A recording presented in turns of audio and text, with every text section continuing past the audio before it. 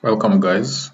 Today we are going to install Visual Studio Code in uh, Ubuntu and we'll start by opening our browser and searching for VS Code or Visual Studio Code and uh, what, we'll see some links. So we'll go to the first link which is for the website download page for Visual Studio Code and then we will see the downloads for different operating systems and then we can also open the terminal for Ubuntu. So we are going to use the terminal to install our software. So in this case since I'm using Ubuntu I'll uh, will download the .deb the Debian file in the middle and it will start uh, the download. So in this case I'm going to save the file. I'll click save and then I click OK. And then uh, we'll give the download some few moments um, you can also check the documentation for Visual Studio Code and all that.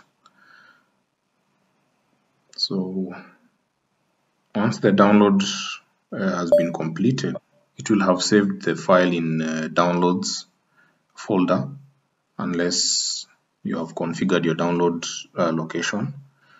So you can use the ls command to check and you can see we have code something dot code version uh, deb file which is in red and it's a first file.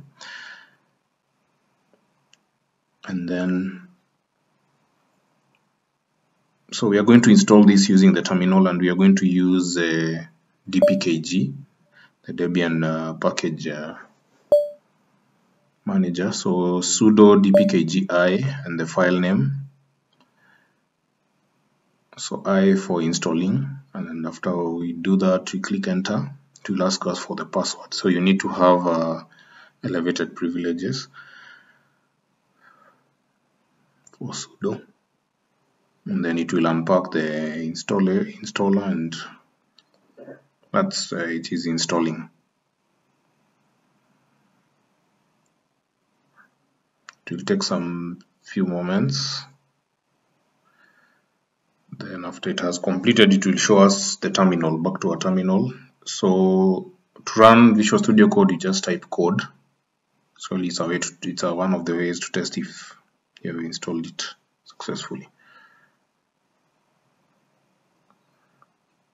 So it uh, shows the user interface for the Visual Studio Code and the user interface just like the other one that we, we, we saw in Windows it has a light uh, dark theme and high contrast themes.